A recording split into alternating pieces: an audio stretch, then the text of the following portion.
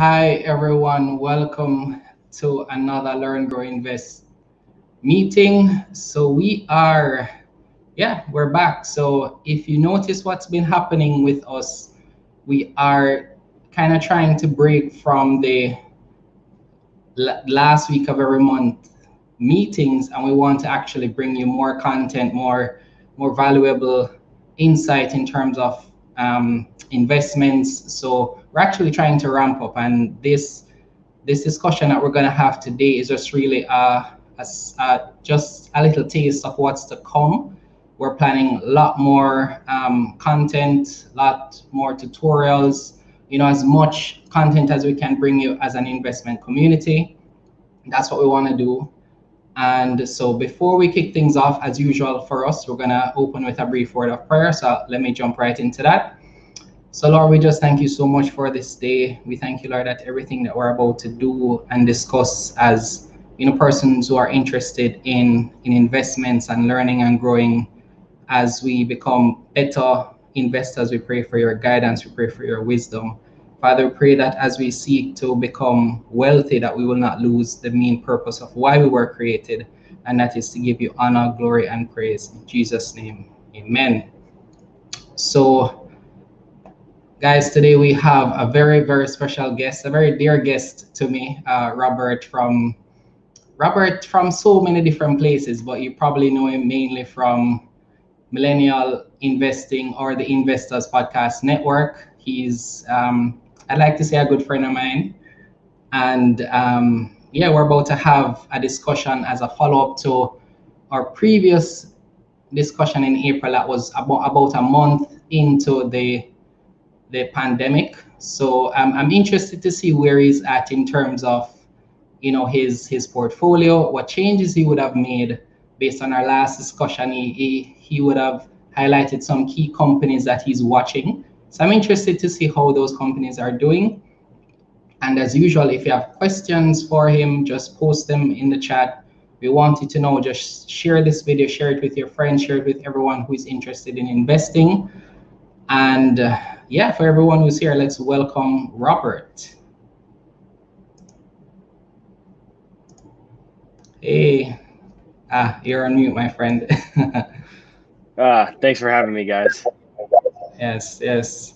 Thanks, Robert, for joining us. So we're just gonna jump right into it, right? So in April, we spoke about we were right about a month in COVID, and you know we spoke about a couple of things, but mainly we spoke on you know how to to have a healthy perspective in terms of your portfolio. You spoke a bit about some of the industries, you know, like the cruise lines, and you spoke about some companies. So um, the first question I want to jump into is what what has really taken place since our conversation in April in terms of your portfolio and your outlook on the stock market? So for me personally, my portfolio has done very well. Uh, I personally joked on Twitter the other day that I've become the best investor that I've ever been in 2020. Uh, that's not necessarily because of my returns, although my returns have probably been some of the best that I've ever had, but mostly because I haven't checked my portfolio. Really, you know, I've maybe checked it twice since April, since we last mm-hmm. talked. And so the reason for that is because I know I buy good companies that I believe in for the long term and so i don't need to check on them all the time. And you know i'm doing other things. I'm working on building a business and a podcast and a bunch of other different things. So for me that's really been the biggest key for me. And, and probably the biggest thing that i've learned is just that i'm able to weather the volatility. And I, I do have the risk tolerance to go through what we went through because we did see some stocks fall 40 50 60 70% and yeah. so i think that was a good good test for a lot of people. And for me i learned that i was able to to weather that storm, take on that risk, and continue to hold. So, um, well, I actually share a similar sentiment. So, right around maybe August, there, I realized that you know this this this pandemic is really going to be dragging on. So, I actually took the approach to kind of step back, you know, watch how things were shaping up. The companies that I owned as well, I felt pretty comfortable with them so I didn't make much changes either. I sold, I, I took profit off one company.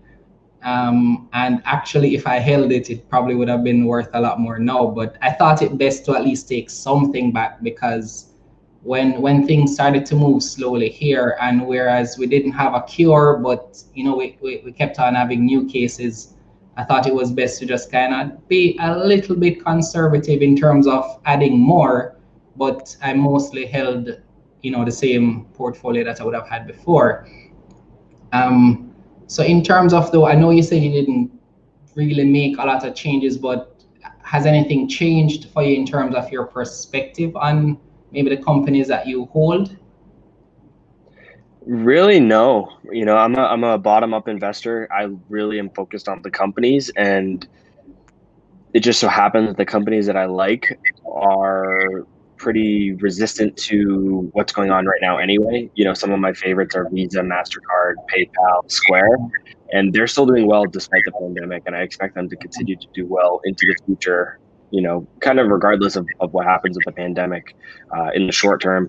And again, I'm investing for 5, 10, 15 years from now. So I'm not really too concerned with what, what's happened since April or, or even what's going to happen over the next year or so. I'm just continuing to buy great companies that I think are at a good value and continue to hold them for the next five to 10 years. Okay. So you're saying that the pandemic has changed nothing about your investment strategy at all? Not at all. Well, that's that's that's an interesting thing to think about. Uh, what what I've done, so it it changed one thing for me in that I started to look at the business model for some companies because I anticipate that you know for some sales may not be the same or you know they may they may have to close some locations based on what's happening. So that's that's what went into my decision not to add more and I was quite comfortable with some of the allocations that I had. But I, I really, you know, I was I was one of those persons who started the year thinking that maybe we could be headed for for a recession, and then when when the pandemic came, it's like it was supposed to possibly lead to one, but again, it's been just drawn out. So it's like what should have maybe happened this year, maybe could possibly take care take take place next year or the year after. So I've been just kind of watching to see what developments, you know, happen. But it's been happening so slowly that I don't know if it makes sense to make any major changes. But that's interesting to me that you're you're not changing anything. That's that's cool. So in terms of the stocks that you're watching, are are there any that based on you know COVID that you're thinking maybe if if things look a certain way, in the next few months you may take a position in those companies? Not really, because I don't I don't invest like that. You know, I don't invest saying, okay, we have a, a major event going on right now or a, a macro event that's taking place, and I need to invest based on that. I invest in good companies that I believe in for the long term, and hmm. I don't think that that's going to be impacted by a short term issue. So right now I, I do have a small position, it's very small in my portfolio of Southwest and it's down. But you know, I mean the hospitality industry, travel industries are getting killed right now. But I'm investing in Southwest for 15 years from now. So, you know, what is Southwest going to look at in 2035, not 2021? You know, maybe maybe they are going to get hurt in 2021, maybe even 2022. But by 2030, 2035, which is what I'm looking at, I think I think COVID is going to be, you know, not forgotten, but it's going to be long in the rearview mirror, and I don't think we're going to have to worry about it. So, for me, no, I'm not looking at companies. You know, I think there are people that are saying that are buying companies just because they're doing well in, in Corona, and I, I personally think that's a short-sighted way to invest. I don't think that. I mean, this is going to be a short-term, temporary headwind. There's there's been many issues like this in the past, and I don't I don't personally think that's a great way to invest. Okay. Well, so what I thought, um, so I thought the tech companies would have been a good.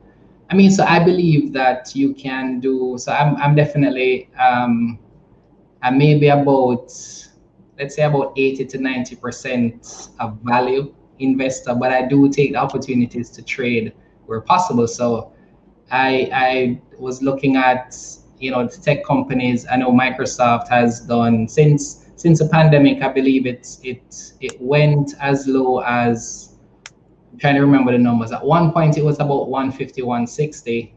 Now it's maybe 216 at the end of today.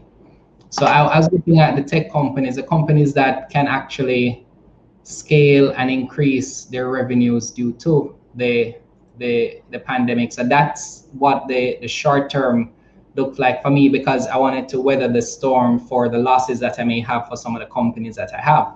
Because there are some companies in my portfolio where um, I'm realizing maybe 20, 30% losses. And, you know, though that's okay for me, if I can get short term, you know, gains from, you know, another part of my portfolio, I'm definitely going to take advantage of that. So I remember you said in the last discussion we had, you had maybe about 1% of your portfolio in Zoom. So you've, you've held that, you haven't added to that position?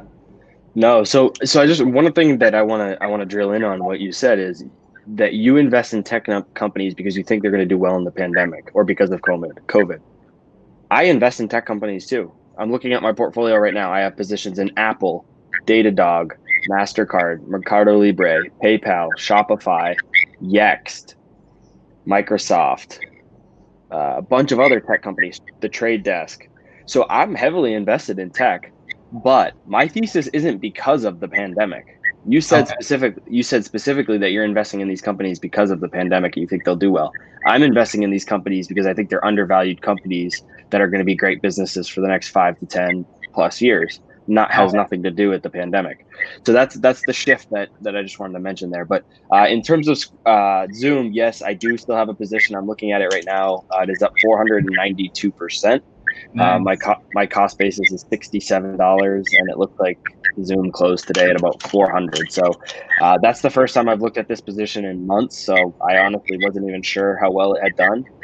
Yeah. But well, so I mean, so this is this is my thought process, I, and I'm not trying to to convince you or anything, but just for the benefit of those watching. So my my perspective is, if you have the opportunity so if you know that the environment presents an opportunity for a stock to do well, I believe that it definitely doesn't hurt you to add to that position because you know the environment favors it. It doesn't mean that you're gonna invest only because of the pandemic, but if you have a solid company, like for example, for me, I was invested in Microsoft because I understand that business very well.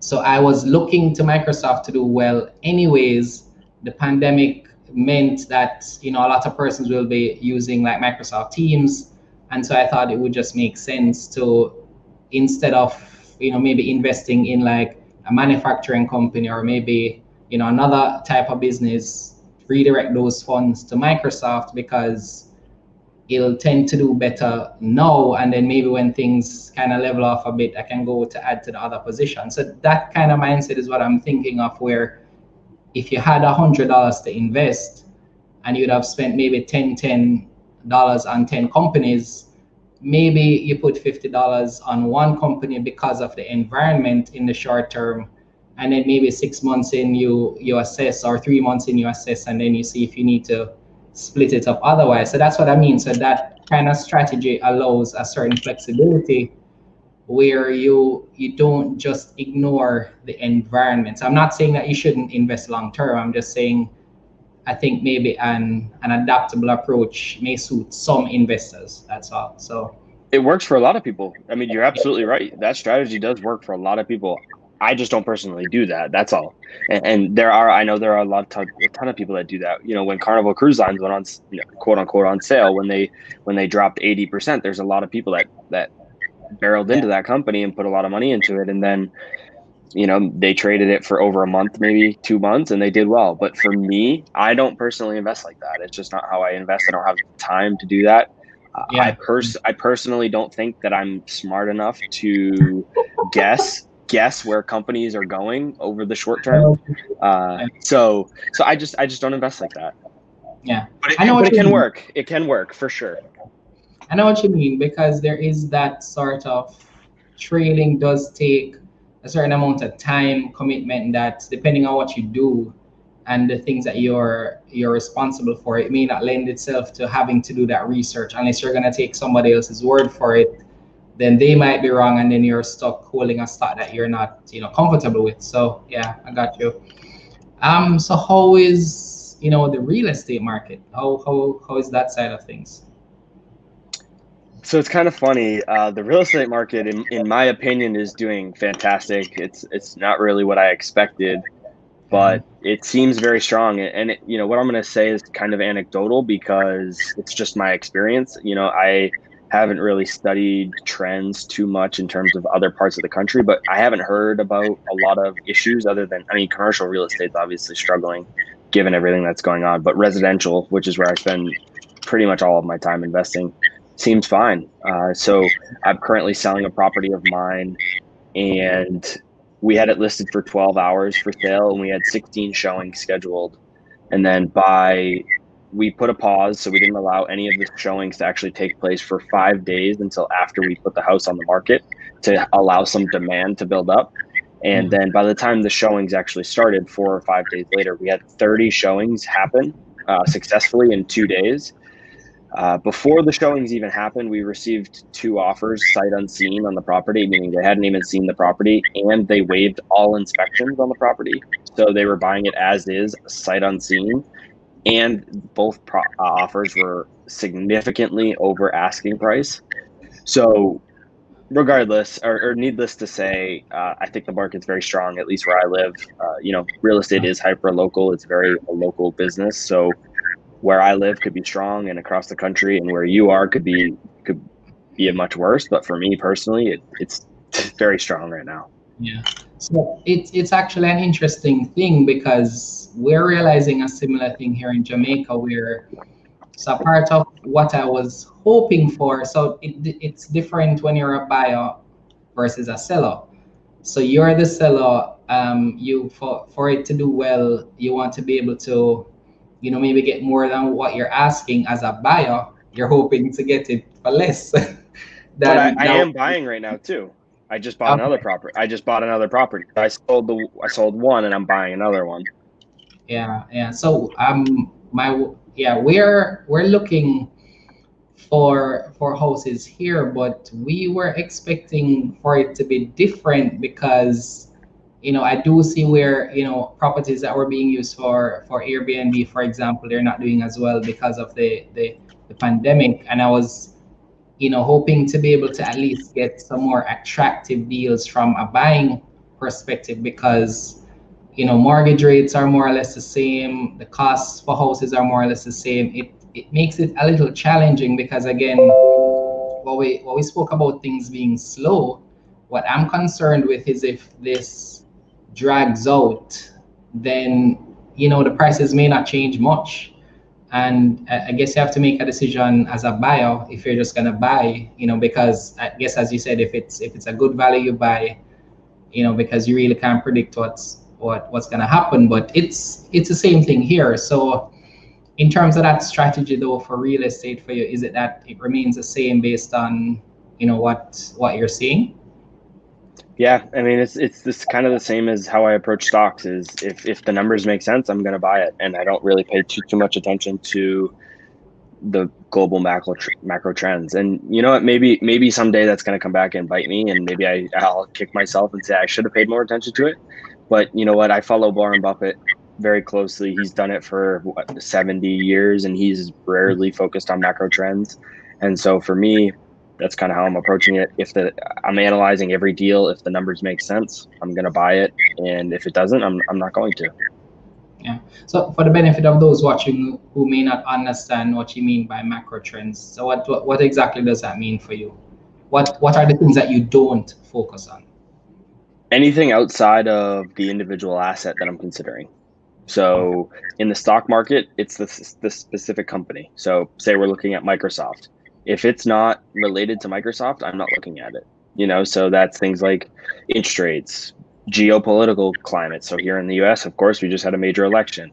Yeah. Uh, coronavirus, things like that. Those are all macro events that are impact that are going to impact these assets, but we don't know how they're going to impact these assets. And in my opinion, there's no way that we could ever know. So for me, we just kind of avoid those and look at what we can know. And so that's by looking at the specific asset that you're looking at. So in the stock market, it's the individual company you're considering buying. In real estate, it's the individual property that you're considering purchasing. So that's that's really where I focus. I focus on the micro, so which is the asset that you're buying, and not so much on the macro, which are the global trends or events that are occurring that we have no control over. Okay, so I, I definitely see some benefit in that. I guess depending on your philosophy in terms of investing, it's definitely a low maintenance approach, just focusing on the asset that you're you're buying because I guess what what that's saying is that you cut down that time to to research and analyze and thinking about the impact of everything that you're that that's happening out there. So if, if you're focusing on on macro, then you're thinking about how maybe the rise in interest rates have you has as you said is is affecting maybe persons buying power that which is affecting maybe how much they'll have to to invest in in the software in in this case Microsoft that we're talking about.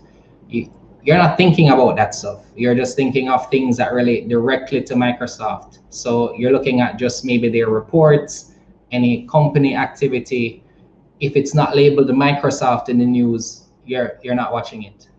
Pretty much. I mean, I do look at trends in the sense of like, you know, are customers moving away from Microsoft products? Are you know aws got set up so who's losing cloud customers to amazon you know things like that i'll pay attention to but i'm not paying attention to an election or coronavirus or you know all these different things that we have zero control over that are not related to the individual business or asset.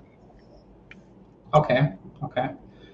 So I definitely see where so what i do is not quite so i i do think well I guess it's that high, hybrid approach I would have, as I would have alluded to earlier, because on some level, what I find is that depending on what is happening in in the in, terms of the, the the macro activities, I may say, well, this period may not. I I may be better off using my cash to do something else, you know, or maybe direct it in a more purposeful way. Maybe I do some things that aren't directed to the stock market, but it's maybe making money in a different way. So, so that's how I kind of use it. But I do have uh, any stock that I would buy. I'm not thinking 2035 like you are, but I'm thinking maybe, you know, 2025 or, you know, 2030. And so the companies that I have, um, I'm fairly confident that you know, it's gonna hold real estate. I'm still trying to get used to it. Uh, I think that it's it's one of those things where. So I think there are certain factors that limit how well a, a property can do in in a certain area. So there's this um, philosophy that we have locally that once you buy real estate, it has nowhere to go but up.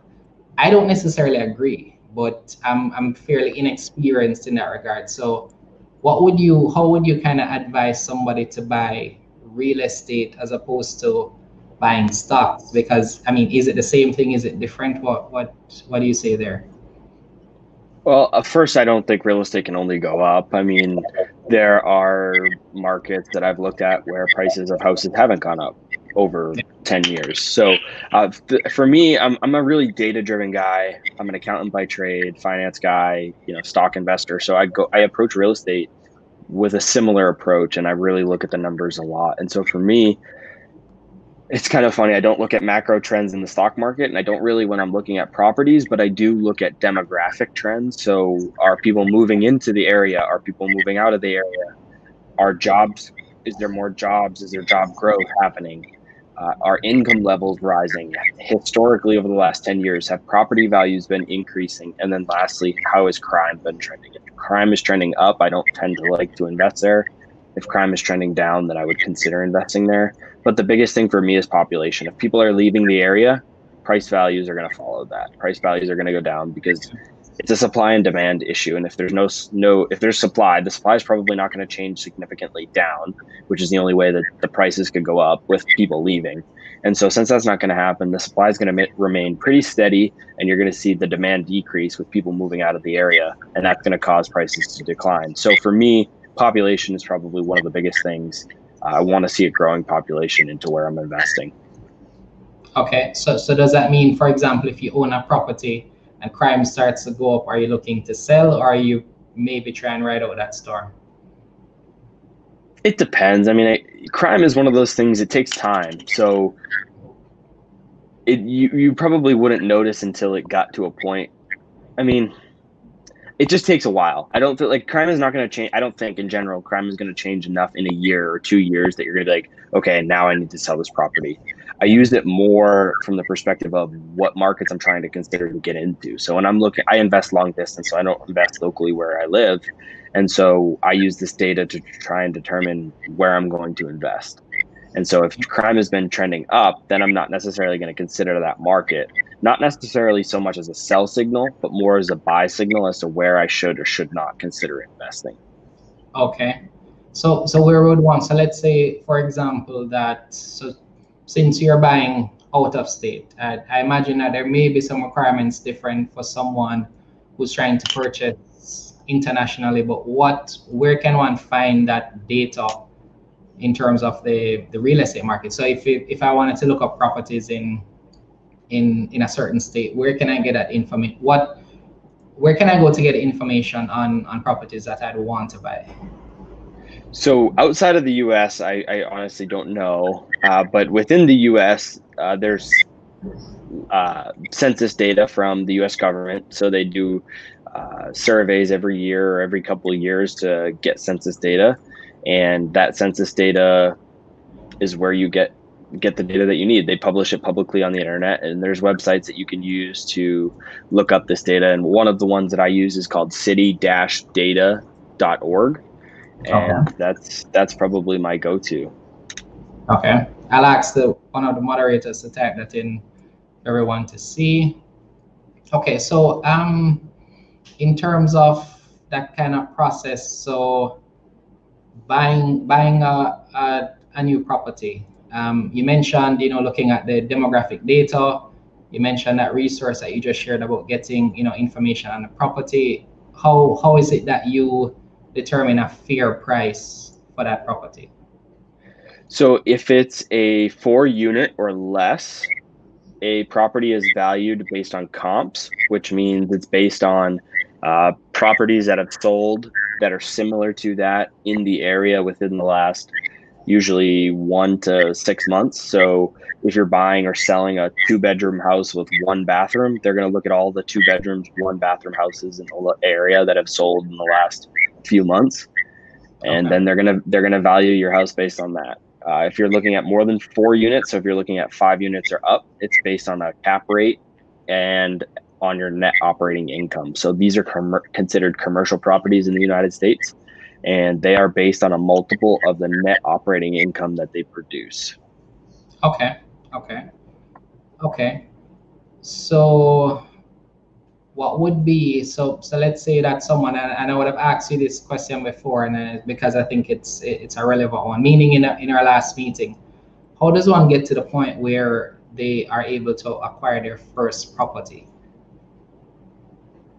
I still think that the best way to acquire your first property is to house hack. I think that's the best way. And, and, I don't know if that's possible across the globe.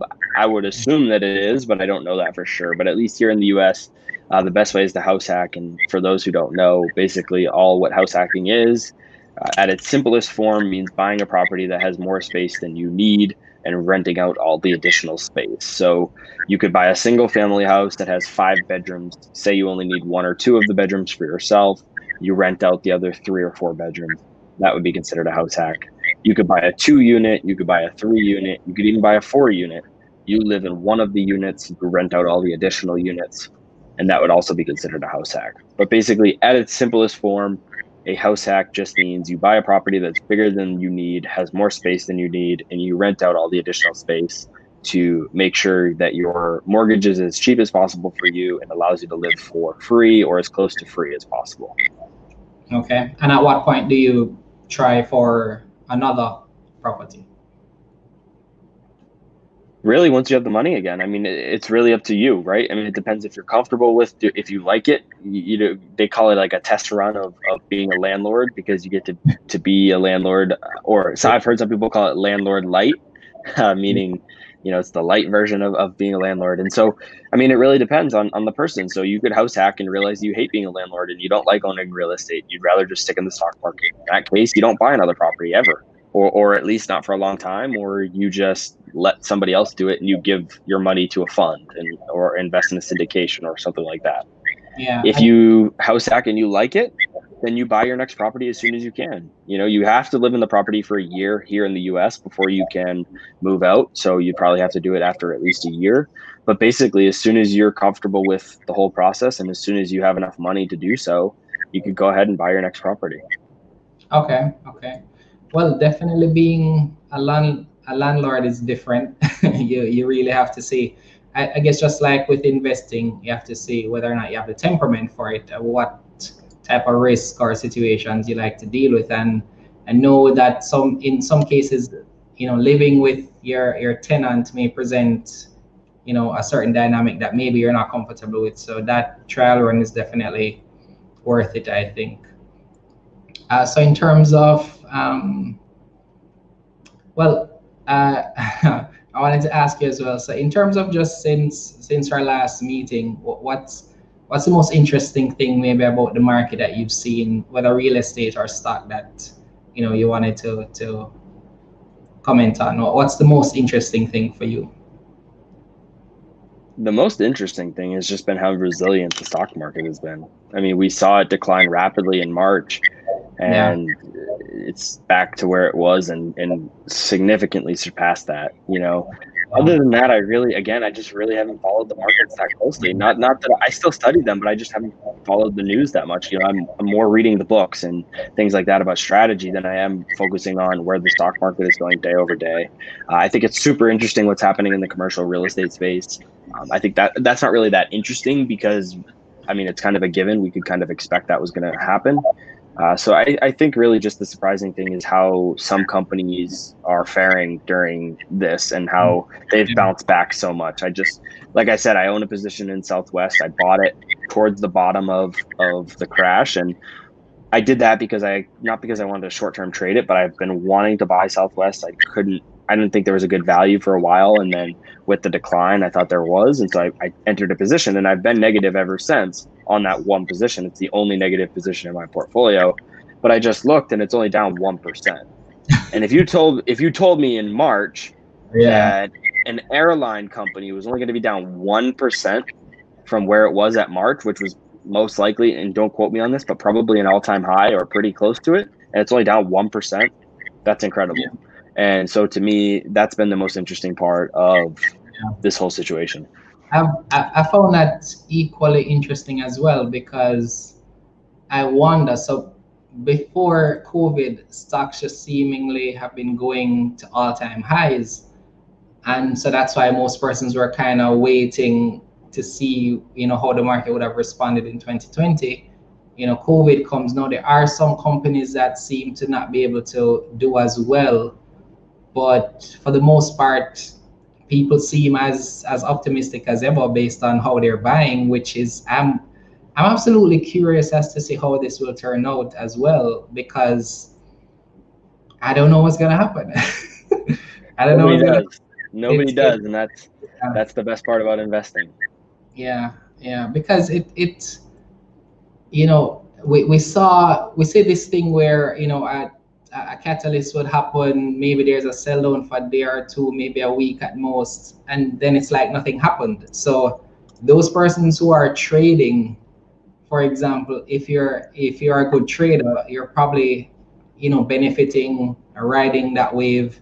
If you're a long-term investor, you're still really not doing that bad depending on how your portfolio was set up. If you are if if you are appropriately diversified, you would have had maybe you know 10 to 20 percent in some cases as you said you know um, less.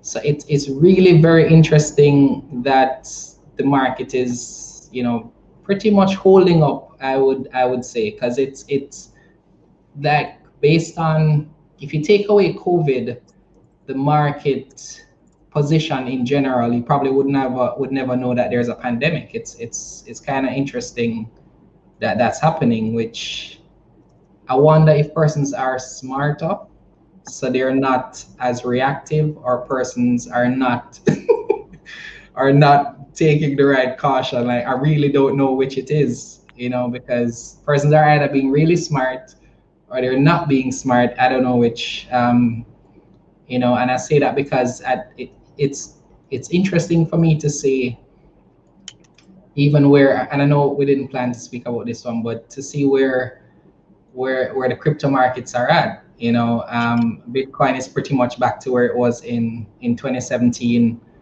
and I've that's just interesting to me that it's it, it's almost like the only thing that's that's behaving as you would expect is Bitcoin and everything else is happening the way that you don't expect. But we're, we're not gonna go there because I don't think you you know, I, I, I don't remember what you had mentioned about about cryptocurrency. I know Preston is is talking about it weekly, um, but I don't know where, where you are in terms of you know cryptocurrencies. What's what, what's your take on that? My opinion on cryptocurrencies is that I don't really have one. uh, I mean, I, I obviously know Preston well, and I chat yeah. frequently, and and I, am you know lucky enough through the podcast to speak to some of the greatest minds in crypto, and so uh, I've been able to have some really great conversations about it. I, I I understand the financial and monetary, fiscal, economic impacts of what Bitcoin can provide and what it's looking to solve. I get that. I don't understand the technology behind it. I don't think I'm ever going to. I'm not. That's not how my brain works, and that's without my circle of com- without my circle of competence. So, uh, I don't think I'm going to try and ever understand it from that perspective. But kind of how I'm approaching it is, there's a lot of really smart people that I respect that believe in it. Uh, there are some smart people that I respect that don't believe in it, and so yeah. for me, so for me, how I think about it is, I think to myself, I take some time and I, I really do some self reflection, and I say okay, if Bitcoin goes up and I don't own a position, am I going to be more mad that I missed out on the train? Or would I be more mad if I did buy some and I lost the money? Which would make me more which would make me more mad and or which would bother me more? And for me, I'd rather I'd rather lose a little bit of money than miss out on the upside. So what I did is I allocated 1% of my portfolio. I said if this goes up as much as these guys think it's going to, all I need is 1% and I'll do very well. If it goes to zero, I mean, that will suck, but it's only 1% of my portfolio and it is what it is. So for me, I don't really track it that much. I don't really study it that much. I am not really super concerned with it. I just put a small portion of my portfolio. So I have a little bit of uh, allocation to it, a little bit of skin in the game, and just kind of let it ride and see what happens. Yeah. So, so again, that concept of just um, diversification, it's there. If it does, it's so there's no one stock in your portfolio that will will break you pretty much is what you're saying. Uh, stock wise there is. Uh, cryptocurrency wise there's not. I'm not i'm not a very diversified investor at all. I, I run a very concentrated portfolio.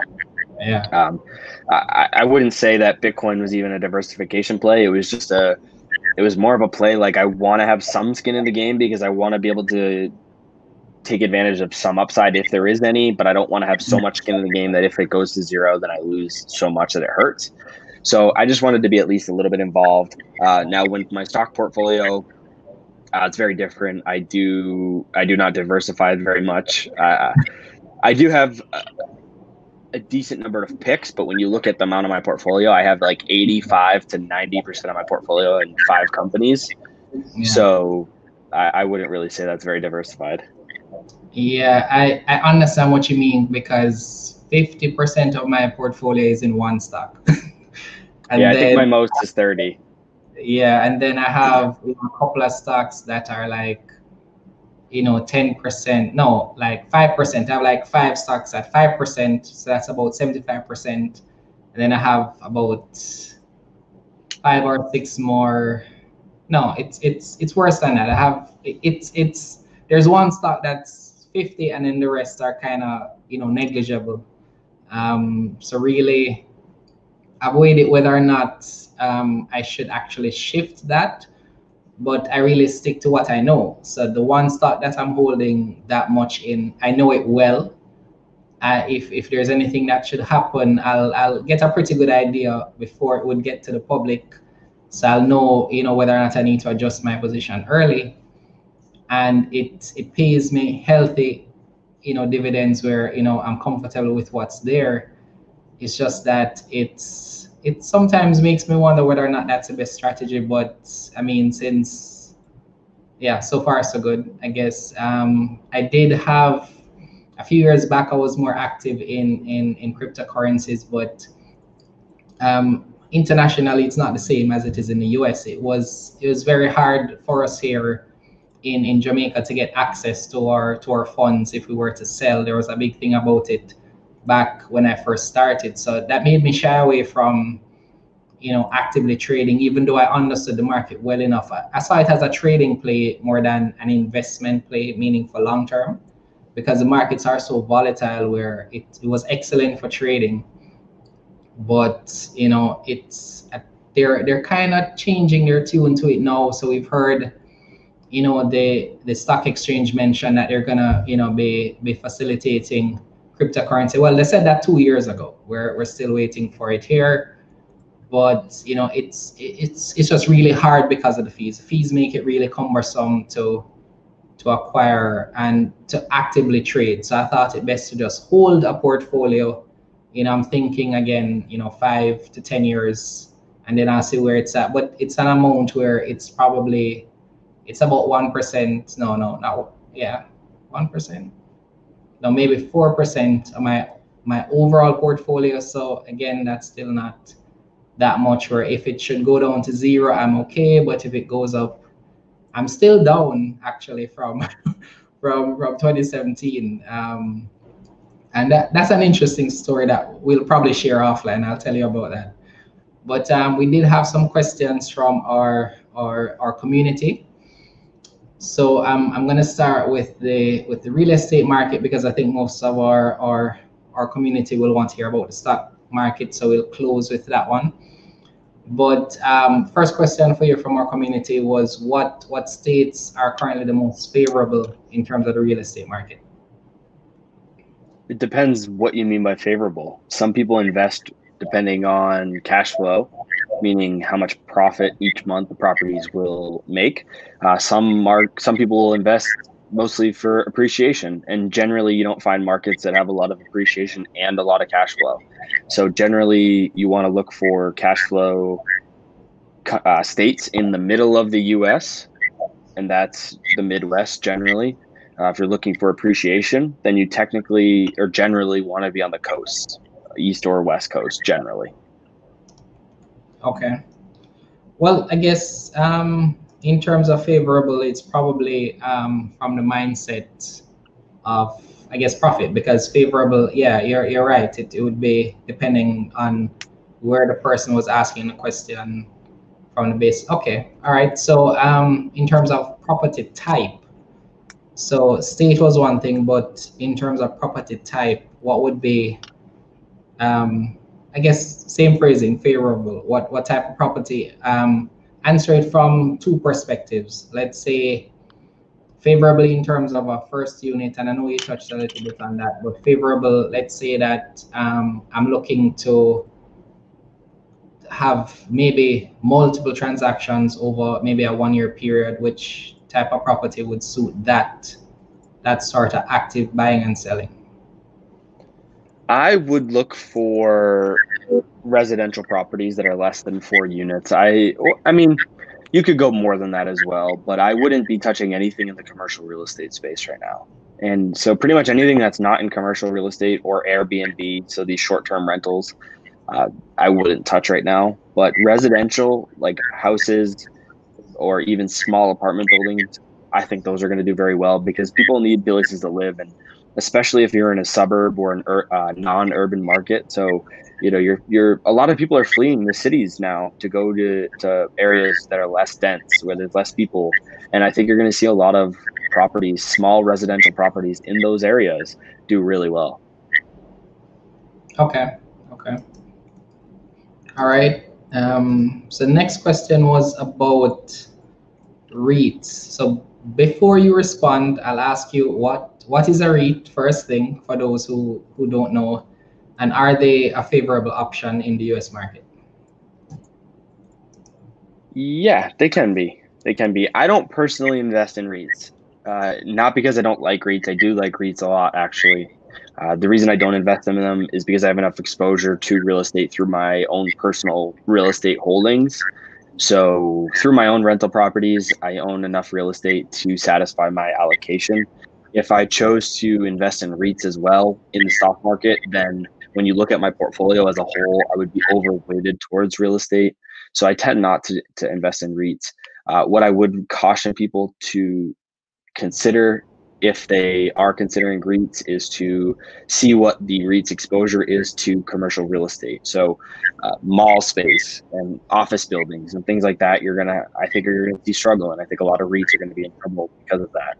If you find some REITs that might be in the healthcare space that have invest in hospitals or um, elderly home, things like that, those might be doing very well right now. Again, I don't, I don't invest like that, so I don't know for sure. Uh, but if I was looking at a REIT, I would look at uh, REITs with apartment buildings, uh, residential real estate, or or specialty real estate that's not commercial, not related to schools. Uh, you know, there's some REITs that are related to student housing. I would avoid anything that's related or, or being impacted negatively by the coronavirus and focus on things that are uh, long term going to do well, like residential real estate. Okay. So pretty much you're saying look at look look at the underlying REIT, see how it is made up, and then make that determination from there as to whether or not you're going to be investing in it. Yes. Yep. Okay. It's interesting that you said it that way because on one hand you're saying you're not looking at the macro, but then you just say pay attention to those that may be impacted by COVID, or is that just you know best practice for those who may be new to to the game? Uh, new to the game, but I also think that when you're investing, when you're investing in a REIT, you're putting your money into a fund, and you're expecting somebody else to manage it with an mm-hmm. asset that's struggling. If you're investing yourself and you're making your own investment decisions, that's different than than giving it to somebody else to invest because you're making your own decisions and you can avoid certain things and you have no control over what they're buying. And so for me, again, I'm not looking at trends. I, I, I thought commercial real estate was going to be in trouble anyway because of coronavirus, with before coronavirus, because of, of people working from home, things of that nature. Uh, you know, technology is making it easier than ever for people to work from home, and this is all pre-COVID. You know, I don't think commercial real estate was as dire as it is today, but I still I wasn't a big fan of commercial real estate, and I certainly wasn't a fan of malls, uh, shop, you know, physical retail. So those are the types of things that I was avoiding anyway because of before COVID. So it, it kind of just not really a trend follow, but it, it kind of just fits in there. Yeah, interestingly enough, um, on that point, what I noticed is that the things that you are expecting. So so when when they would speak about technology and working from home, in my mind, pre-COVID, I was thinking, okay, five years, ten years, that has been sped up to now, and you know that that sort of breakdown in the market that we are expecting that collapse that slowed down so one thing sped up you know five ten years and another kind of is still taking forever so that's that's quite interesting because i do think so we have this kind of strategy that i noticed in in jamaica where some companies have not fully embraced working from home so they have employees coming in and then if there's a case, if, if there's a COVID case, then everybody has to be sent home, which to me doesn't make sense. That's not sustainable, a sustainable model because they're ignoring putting in the infrastructure that they will need to manage their business. Now, when they have to send home everybody, that business suffers because now your processes aren't really, you know, making sense or it's not conducive to persons working from home. So and I still see some real estate properties being put up, um, some commercial spaces where the rates are still the same. And I wonder if these persons understand that they're not going to be able to pay rent or, or pay their mortgage very soon.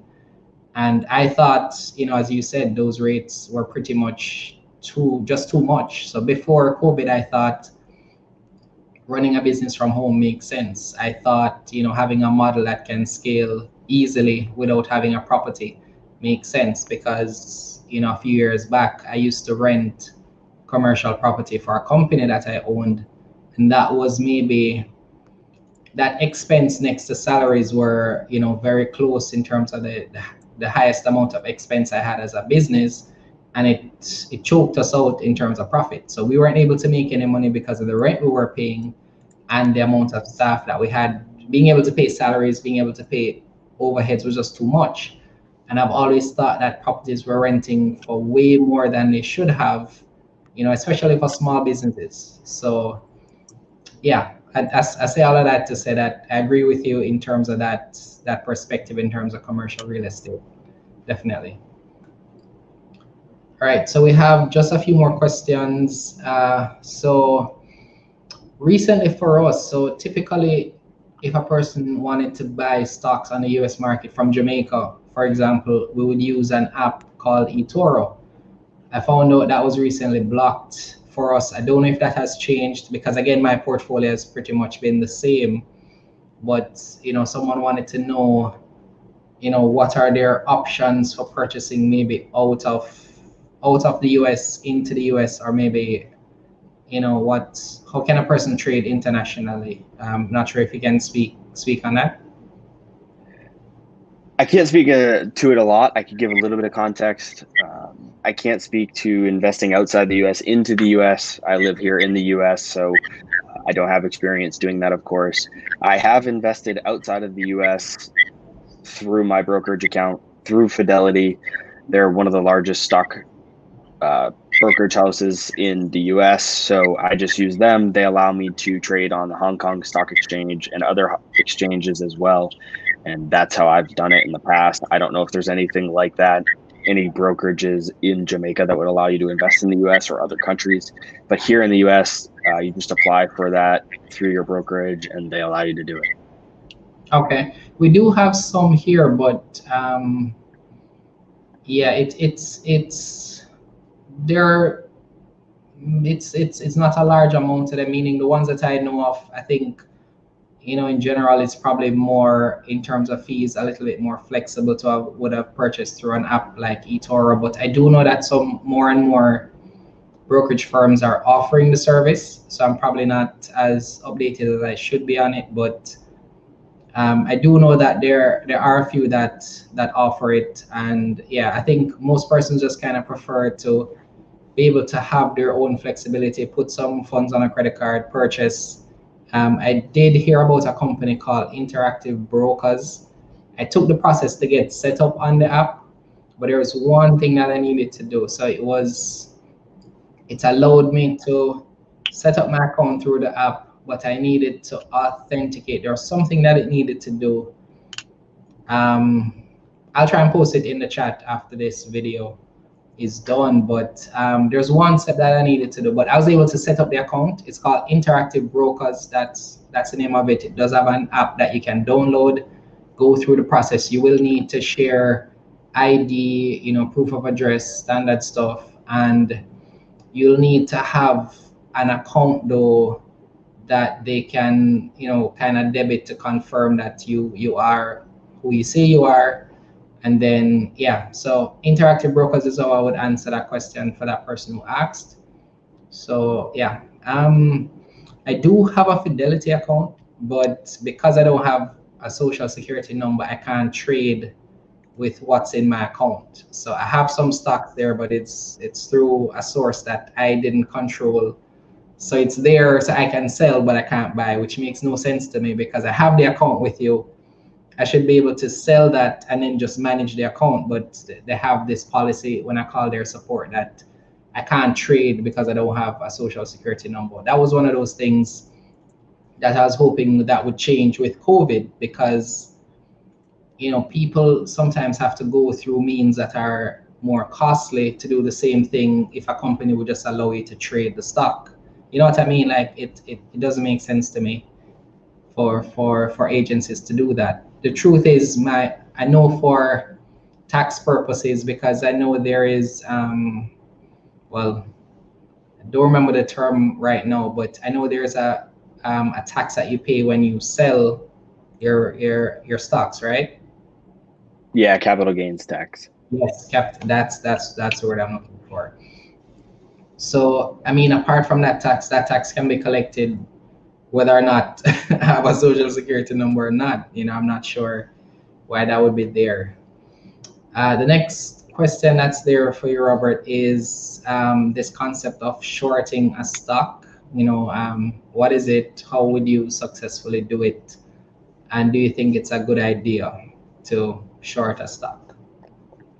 That is a very big question, and we could talk about that for an hour in and of itself. Uh, I'll try to give a brief overview of what shorting is, uh, and I'll kind of give my thoughts on shorting.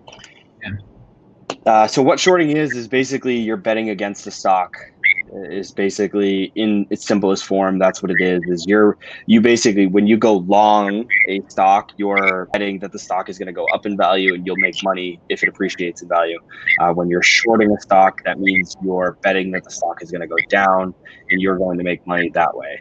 Uh, that's the simple way that's the theoretical way of how it works. Uh, technically what happens is you short a stock and your brokerage will go and take that stock from somebody else, they'll borrow it from somebody else, and they'll sell it on the market. And then you'll get those proceeds. And then at a later date, what you have to do is you have to buy that stock back at the market price and then instantly sell it and give those shares back to the person that you borrowed it from. And so that can get a little bit confusing, but that's how it works. That's how the broker does it they do that all behind the scenes for you. You just say you're going to short it on your computer screen, and they'll take care of all that for you. Uh, but that's the process. That's how it works. Theoretically, that's what's going on. Uh, now, my opinion on it. Uh, theoretically, I love shorting. I've never actually done it though. So in theory, I love it. Uh, in theory, I love it. In practice, I'm scared of it. And the reason of that is because with shorting, there's unlimited risk and capped potential with going long, it unlimited potential with capped risk. So with okay. shorting, with shorting, the most that you could ever make with a short, no matter what, is a hundred percent. So if you bought a, a, company and you shorted it and it went to zero, it went bankrupt. The most money that you could ever make is a hundred percent. However, if you short a company and the stock goes against you, meaning the value of the price of the stock goes up, you have unlimited risk because that stock technically could go to infinity. So while you can only make 100% on the downside, uh, we've seen Zoom go up, like I just said, 500%. If that stock went up 500%, you could be down 500%, which what that means is you're down five times what you put into that money. So you're. Wow instead of being up five times, think about what that does on the downside. You're down five times. So if you put in a hundred dollars, you would be down five hundred dollars so you can lose more than you put in. And so it's very risky uh, from that perspective. So that's what it means is there's capped capped potential, meaning the most you can make is 100%. Uh, there's unlimited risk, meaning you could lose way more than you put into the position. Uh, on the long side, it's the exact opposite. If you invest in a company, the most you could ever lose is what you put into the company. You can never lose more than 100%. That's the most you could ever lose. But on the upside, you could technically earn thousands of percent, right? Zoom is up 500%. People that bought Amazon are up 20,000%. So the, the potential that you could earn is unlimited on the upside, but very capped on the downside. So uh, shorting can be very, very, very risky. Uh, it can be good for the short term, uh, but it's a very risky strategy. And so for that reason, I tend to stay away from it. Okay. Okay. Yeah, I, I think I've, I've seen a few persons locally ask for you know the local stock exchange to start shorting stocks. And i think that's because they feel like they can take advantage of the emotion of the market. You know if something doesn't do favorable or if somebody you know in a certain position starts to speak a certain way about the stock then they see an opportunity to short it because they may be able to predict that is it's going to trend down for a little bit and then they'd sell it and you know recover or or make profit in that way we, we always, well, not we always, but there are times when persons focus a lot on the upside and not on the downside. So that's definitely an interesting take on shorting. I've never heard it explained that way. It's actually quite an interesting take on it, as as Chike is saying in the chat. And so, just two more questions for you in terms of, um, you know, there was there was news about uh, a vaccine the other day. There's actually multiple, but there was one specifically that came out, I think, last week. Um, you know, about uh, so so the question is phrased: Do you think that the the downward trend that was that's happening to some of the tech stocks based on the vaccine news? Do you think that's just kind of short term? Um, you know, what do I know? I know you're not you know used to thinking in you know one to three month block. But what do you think? You know what I'm gonna say, Jermaine. You know what I'm gonna say. yeah, yeah, yeah. Um, I, I don't invest like that. I, I honestly, I don't, I don't have a good answer for you because I don't invest like that. Um, you know, some of the companies that are, are being hit the last couple weeks are down a couple, you know, 20%, but I'm up 500%. So 20% is not a big deal to me. Uh, I'm investing for the next 10 years. I'm, I'm not worried about uh, what's happening with the vaccine over the next six months. Well, so, so let me, let me phrase it this way then. Do you think it's a good time to enter a position in a in a tech company. You know, as you said, it's up 500% this year alone. Should should you buy a, a tech stock right now? Depends on the company. Okay. Depends on the valuation. Depends on the company. Depends on your prospects for the company. It depends how you feel about the company. I mean, there's there's. Is it a good time to buy Zoom? Probably not. That's my opinion. I could be wrong. It could go up 500% from here maybe it's a great time. I don't know. Uh, is it a good time to buy a different company? Maybe. Again, I don't know. Uh, it, it's depends on the valuation. It depends on on the prospects of the company, and you just have to do your analysis on every single company. yes, yes, Chike. Um, Chike is saying that you're you're investing the the the Buffett way. Very know? much so yeah yeah so i mean it's it's it's interesting i i, I do agree to some extent um i do think that so one i do think that the, the market is made very interesting with with the dynamic that it presents right so for me it's like a a sort of this this movie i'm watching to see how persons react to news and then you know this one is up this week it's down next week i think it's all you know very interesting to see just the the, the emotion and such sort of um, how do you say it? It's it's it's I like how the markets can sometimes be predictable but so unpredictable. So that's all fun for me. So I I, I find it very interesting when persons make certain decisions in the short term, not thinking about the long term. And I think sometimes persons are focused too long term and not see the opportunities to make money in the short term because ultimately to me you're you're investing to make money so you put yourself in the best position to make money because on the one hand if you're thinking long term which is great as, as i do as well i don't know if i'm going to be able to make the same money three years from now that i'm making now. So i try to make the best decision best decision for now. And you know hopefully it remains the same three years from now but i don't know. So i i invest from the perspective that if i don't if if my income is half you know next year what it was this year what would i buy? You know how would i use the money that i have now and so i try to have a balance of both short term and long term at the same time because you know and, and and that's probably because of my age roberta we speak about this all the time. You're you're looking at it from a different perspective. You're you're you're you're a little bit younger than i am.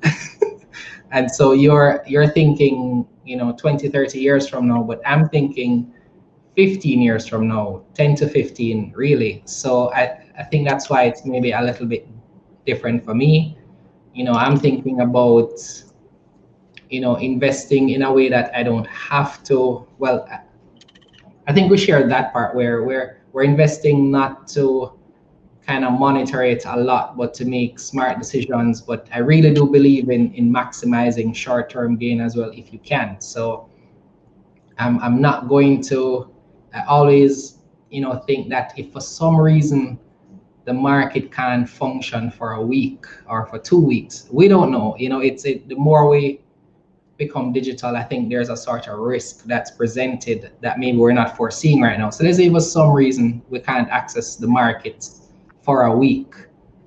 That's a very interesting situation. So I, I, I have to think short term in the sense that, you know, let me see how much I can take off the table now while I can, but then I definitely see value in focusing long term as well. So um, yeah, it's really for for the investor to choose. If you're watching this, you know, make the best decision based on the information that you have, but be sure to get a certain amount of information where you can make you know practical decision, and that's you know everything that Robert has really alluded to. You know, it, it, it may sound weird for some persons to to hear Robert say it depends for almost every question that we've covered so far. And it really does depend because you can't say one response to to every question because it may be different based on your unique situation. So I definitely agree with with Robert for all his all his responses, though my my priorities and decisions may be different.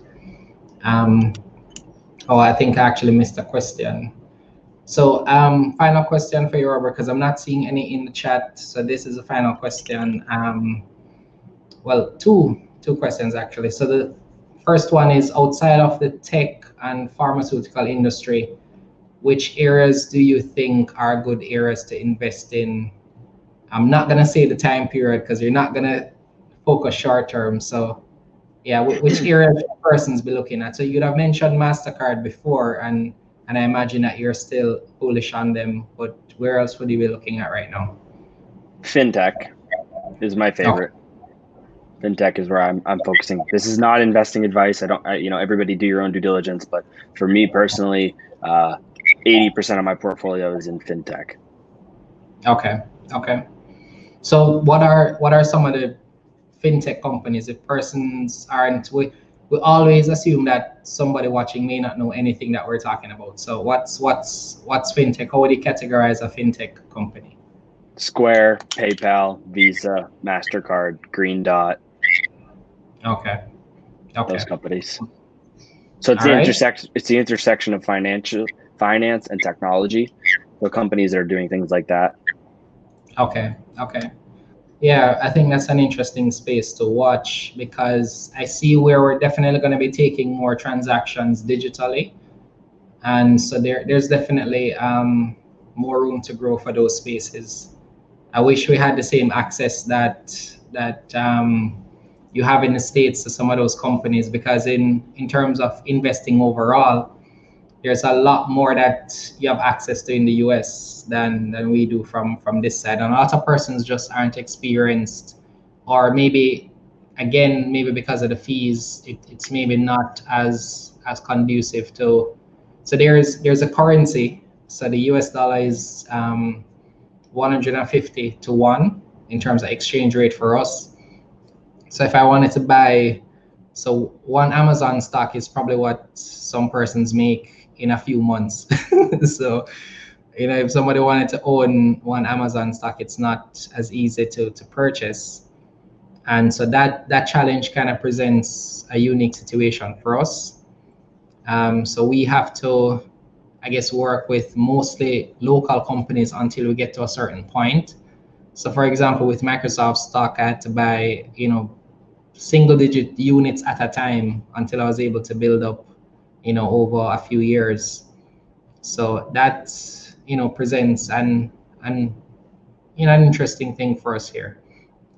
So in terms of final thoughts, you know, Robert, on, on the market, on investing, you know, best best practices, is there anything that that you recommend as as a new investor? So let's say that somebody's brand new to to investing, you know, where would you have them focus or what would your your advice be going into the end of the year and into to 2021?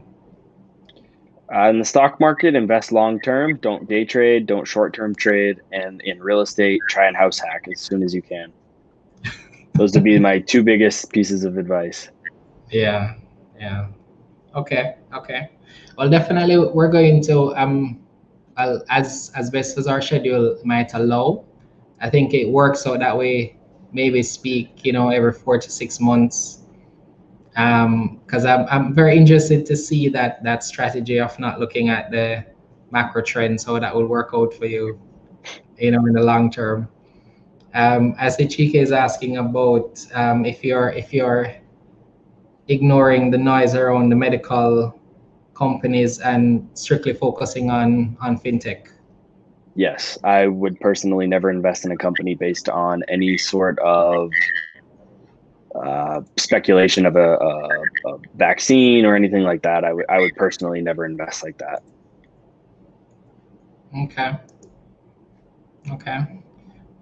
Okay. Um, people make money. People make money like that. It's just not how I invest. Yeah, yeah, I got you. I got you. So I would, um, you know, to answer that question from my side, and it depends. So I actually I look at the price. Um, I look at potential for profit. So if a company is, if if its fair value is determined to be two hundred dollars and it's now you know a hundred, I'll buy that. You know, if it's eighty dollars, I'll buy that um, especially if now you add the environment and the and the macro conditions to make it sort of like a perfect cocktail for it to grow. It's not guaranteed. Nothing is in gar- is guaranteed in terms of investing. I want to leave that with you. Definitely don't think that it's gonna be. You have to because as much as you may have news that favor the stock going up, there may be news that you're not aware of tomorrow that could change that same stock that you just bought the, the outlook for it. So um, we would just want to leave that with you. Robert, thank you so much. I really do appreciate the, the time. Um, I was hoping that we'd get some um, some questions from from the from the group. I wanted to do a shout out to those guys. It's been a while since I've been active there, but if you're if you're unfamiliar, can you just say say Robert how persons can contact you? Tell us a little bit about the Facebook group that you have that it's a pretty great group to be a part of if you are if you're not a member. Well, I appreciate that. So we have a couple different things. I have two podcasts. One is called Millennial Investing. Uh, one is called Real Estate Investing. Those are probably the best places to find me. Um, on social media, Instagram, Twitter is where I'm most active, and then we also have a Facebook group uh, that has uh, 1,500 or so people in it. Uh, lots of great, lots of wow. lots of great conversations happening with people, and uh, happy to to connect with anybody that would like to to chat. Yeah, I, I, I can attest to that, Robert. It's very easy to to engage. You'll always respond. Um, as as very shocked, Robert, when when we first met, how how quick you were to respond to to to me reaching out. I'm glad that we're able to to connect and yeah, I've, I've, I've learned a lot from just following you on social media. So um, Robert is on IG, Twitter, Facebook. Um, definitely follow him if you haven't done so. His links are in the description directly below this video. So yeah, thank you, Robert. Uh, I'll see you in a few months, right? Thank you so much. All right. Take care. Bye-bye. All right.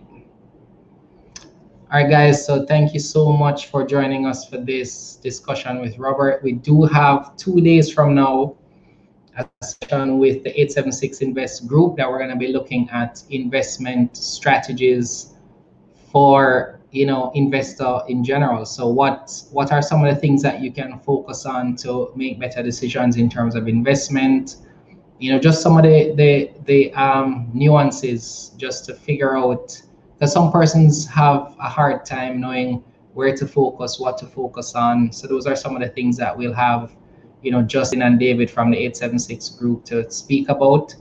As I said before, we're going to be focusing on a lot more content for you. So, you know, we're asking you to share this video, to subscribe to this channel if you haven't done so already.